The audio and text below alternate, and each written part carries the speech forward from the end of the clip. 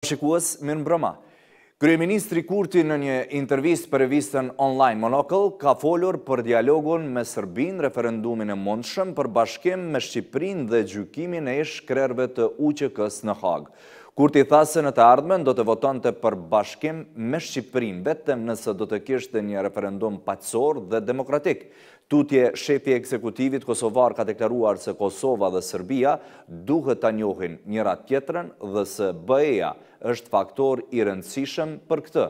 Ai u pyet edhe për marrëdhëniet me ish-krerët e UÇK-së që po gjykohen në Hagë, përfshirë Hashim Thaçin, për çka tha se nuk i gëzohet gjykimit në Speciale, por që do të donte që ata të përballeshin me drejtësinë në Kosovë për korrupsion.